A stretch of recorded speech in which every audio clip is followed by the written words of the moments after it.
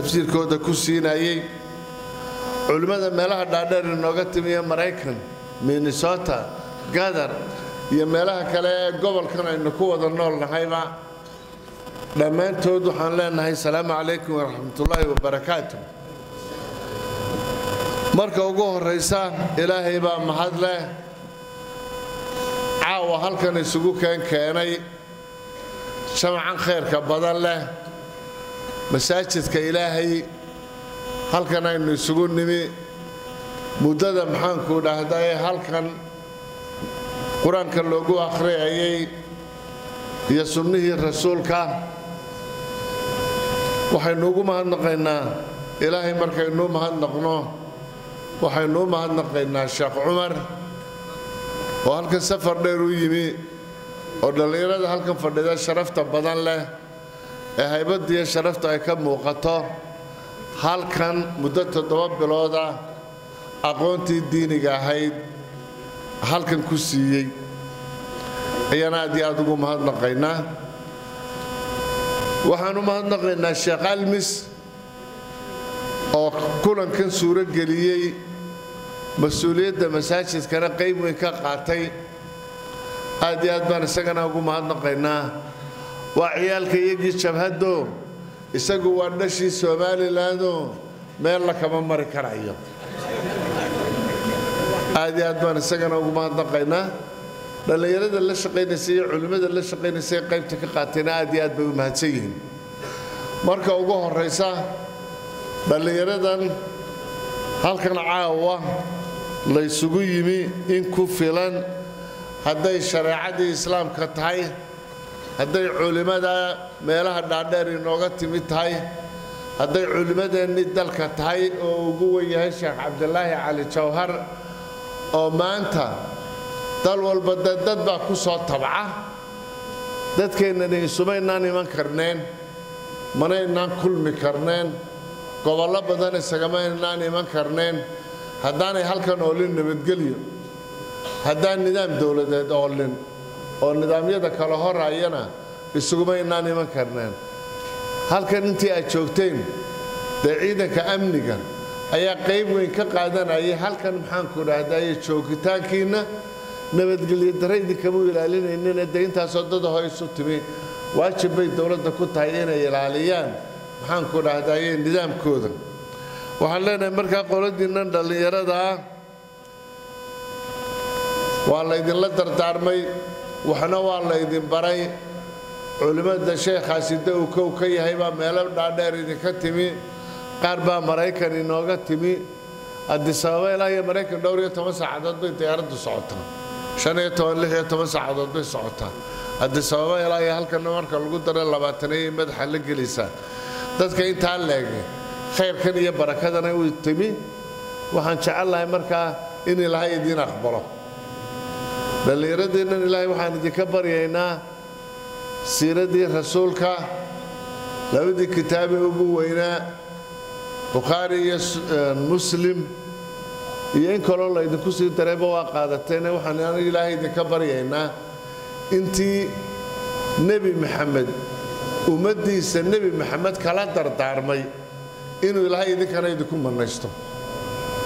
Idinkuna waxaa samaysan aad isu ilaaliya oo khayrkan laydiin barakeeyey cilmigan laydi siiyey waxaabaan ka baqaynaa hadda inuu idin dilaaciyo da idinkana waa ina aad iyo aad u xafidaan.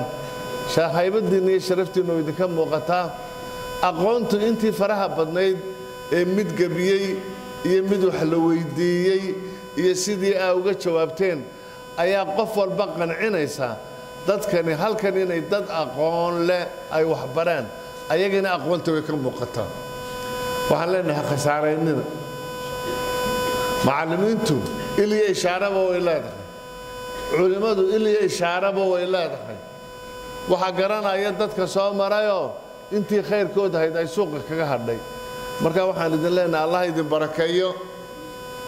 Ilaahay ha idinku anfaco. Idinkana waxaan leenahay dadkana wax sii bara waxaynu u baahannahay markaa ummad islaama baynu nahay. Idinkuna dadka islaamkaabaa ka mid tihiin. Culimmadii islaamkaa layna baray. Diinta islaamku waxna way ina faraysaa waxna way inoo diidaysaa.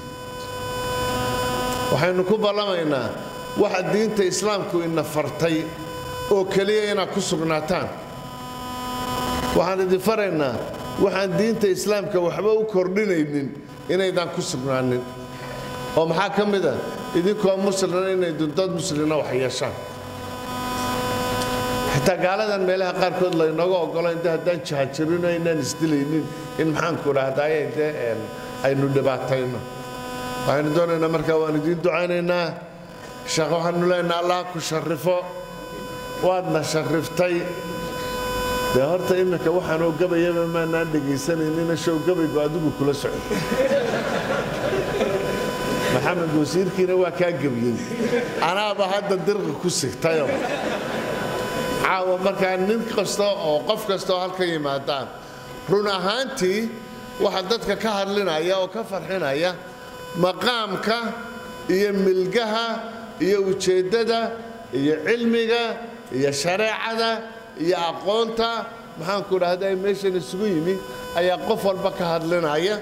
Ilaahay ha idinku barakeeyo sheekhana waynu mahadnaqaynaa.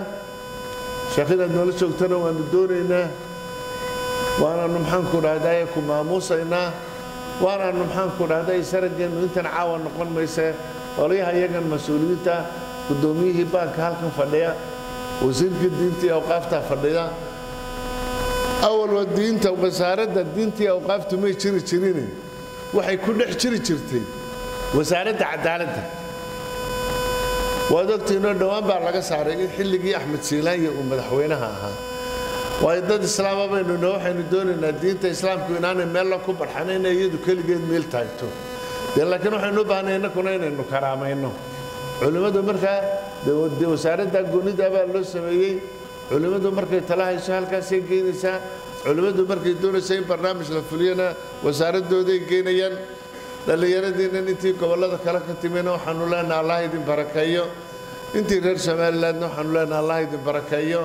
Waanu idiin ducaynaynaa. Allah idin nabad yeelo. Sheekhana waxaynu leenahay idinkana u soo duceeya. Isaga iyo culimmadii kale ee barnaamijkan la fulisana waxaan leenahay aad iyo aad bay u mahadsan yihiin. Sheekh almis iyo raggiisii masaajidka ee qaybta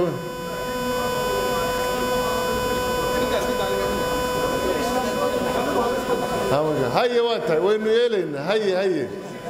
Waynu yeelaynaa